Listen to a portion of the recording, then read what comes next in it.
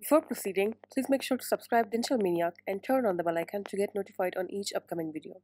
You can always support my work with your likes, comments, and shares, and you can join me on Facebook and Instagram through the links given at the description box.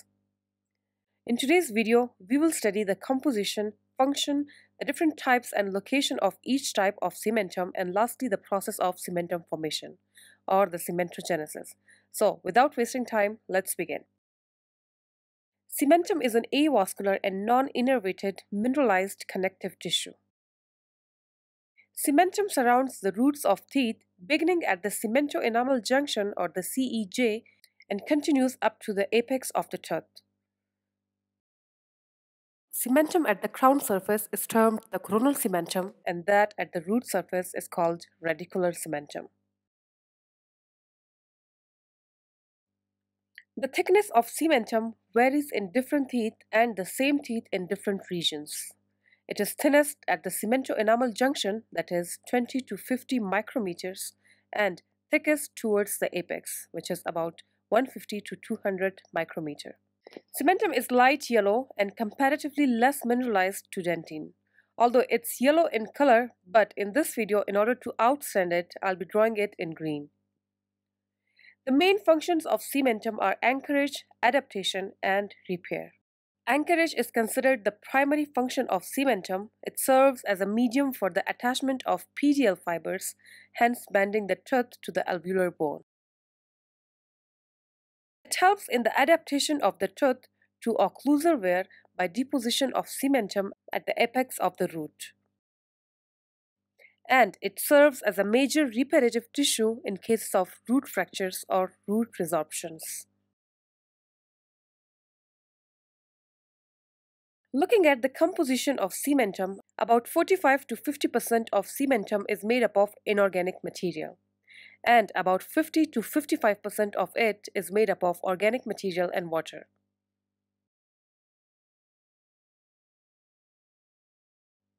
The organic part of it consists of collagenous and non-collagenous proteins.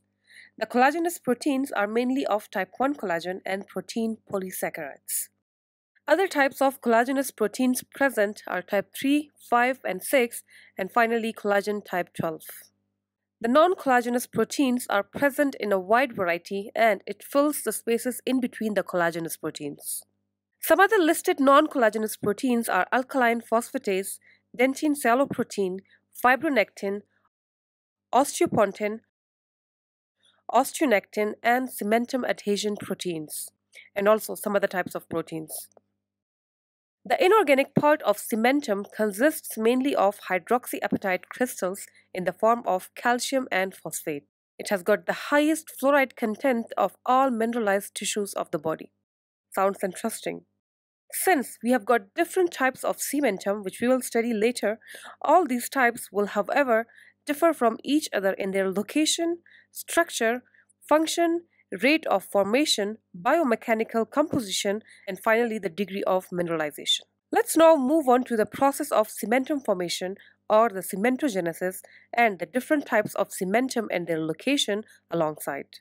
Before moving on, please do consider subscribing to the channel and turning on the bell icon so that each time a video is uploaded, you get a notification. The formation of cementum begins after the tooth crown is completely formed and while the root formation is beginning. To understand this, let's recap the cells of a tooth germ. As we know that a tooth germ is mainly composed of three parts. These three parts are the enamel organ, the dental papilla, and the dental follicle or the dental sac. The enamel organ of this tooth germ will form the enamel of the tooth. The cells of the dental papilla are involved in the formation of the dentine along with the dental pulp and surrounding this dental papilla and enamel organ is the dental sac or the dental follicle, which will finally give rise to the periodontium of a tooth and the cementum being a part of the periodontium. So, after the crown of a tooth is formed up to the future cemento-enamel junction or the CEJ, the enamel organ regresses and turns into a reduced enamel epithelium. Here in this diagram, the reduced enamel epithelium is shown in black, enamel in blue, and dentine in yellow color. The reduced enamel epithelium is composed of cells of the inner and outer enamel epithelium. These cells of inner and outer enamel epithelium as a unit extends downwards to form the Hertwig's epithelial root sheath or HERS. And this root sheath will be responsible for the formation of the root of a tooth and eventually will then stimulate the formation of cementum. Let's see how. To understand this, let's have a close-up view of this root sheath and look at how the root formation begins and how then the cementum is formed accordingly. As the root sheath begins to grow downwards, it differentiates the nearby cells of the dental papilla into pre-odontoblasts. The cells of the dental follicle at this stage are undifferentiated, and the root sheath is intact.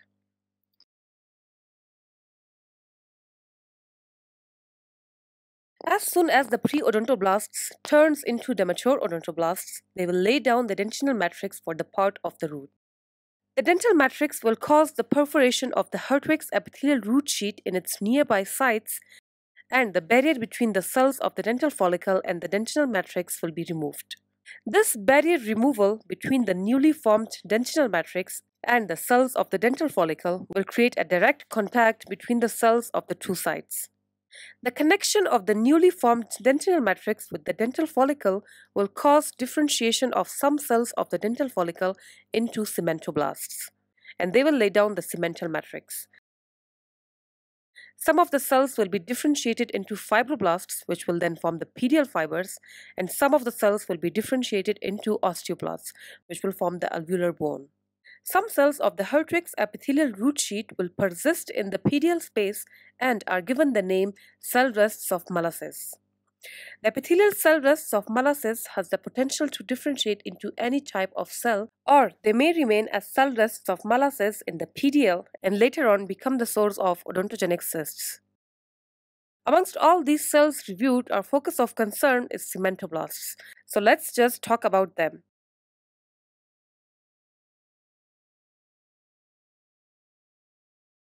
The cementoblasts, after its differentiation, will start laying down the organic matrix of the cementum or the cementoid along the root surface.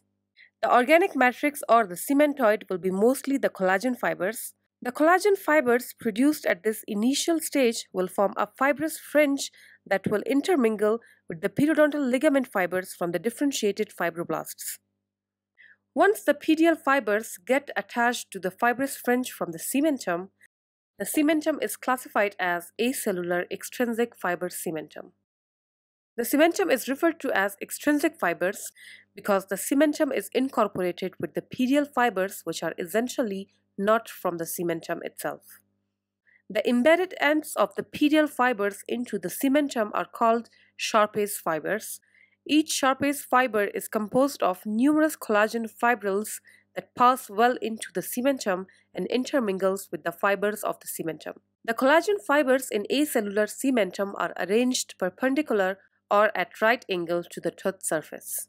It's called acellular because there are no cementoblasts within the cementoid. The cells are however arranged at the outer surface. As this acellular extrinsic fiber cementum is formed initially, it's also called the primary cementum.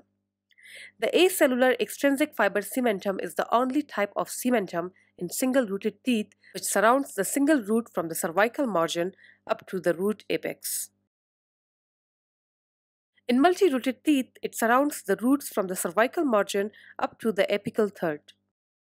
The main function of acellular extrinsic fiber cementum is strong anchorage of the tooth within its bony socket. After the formation of acellular extrinsic fiber cementum, a much less mineralized cementum is formed at the apical third called the cellular cementum.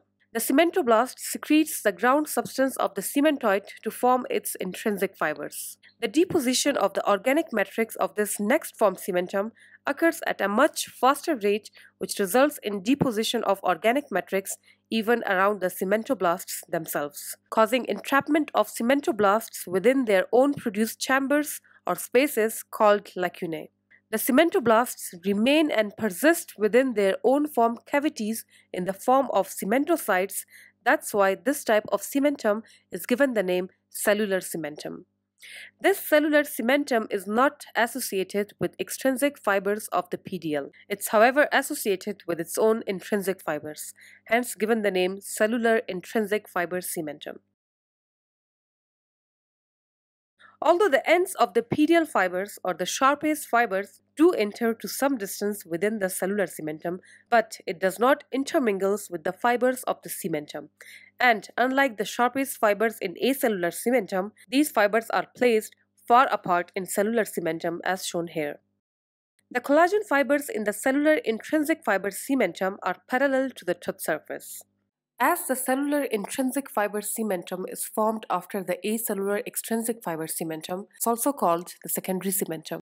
This type of cementum is present in middle to apical third and furcation areas of multi-rooted teeth, and it's mainly involved in adaptation and repair of the cementum. The secondary cementum is formed as soon as the teeth comes into occlusion until its exfoliation. The reason why the extrinsic fibers of the PDL are not well embedded within the cellular cementum is that the fibroblasts shows a close relationship with cementoblasts during acellular cementum formation but not during the cellular cementum formation, suggesting that it has a role to play in acellular cementum.